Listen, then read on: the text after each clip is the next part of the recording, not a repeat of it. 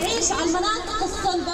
هنا في مخيم الزعتاري للاجئين بالأردن يحصل آلاف الأطفال والمقيمون فيه على معلومات حول أفضل الممارسات والسبل لمكافحة فيروس كورونا. خلخلة بخلخل الأصابع. اعملوا هيك يلا.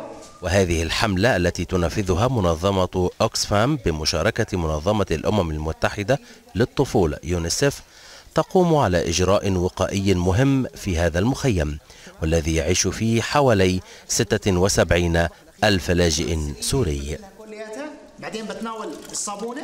مخيم الزعتري هو تقريبا ما يقارب فيه سكان عدد سكان 76 ألف عدد طلاب عالي جدا. آه، في مناطق مزدحمة مثل المدارس. فإحنا ارتئينا أنه ندخل المدارس ونبلش كأسلوب وقائي وإجراء وقائي أنه آه، نعلم المدارس أو نعلم طلاب المدارس وبنفس الوقت المعلمين نفهمهم على موضوع فيروس كورونا وأهمية غسيل الأيدي تحديدا بهذا الفيروس. وقد إيه ممكن أنت أنك تكون واقي نفسك.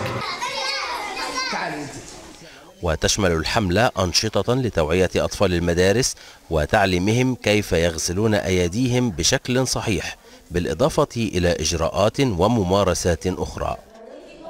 هو أهم شيء أهم شيء بالحملة هو الأطفال لأن الأطفال هي أكثر شيء عليها جمعة وعليها بختلطوا وبيطلعوا برا فالحمد لله استفادوا الأولاد كثير. يعني صاروا بس يفوتوا على البيت يغسلوا ايديهم بس يطلعوا ويحافظوا على حالهم كثير. هم وباقي الأطفال. وجرى تعليم وتدريب ما لا يقل عن سبعة ألاف لاجئ طوال أيام الحملة التي تعد الأولى من نوعها في هذا المخيم مخيم الزعتري.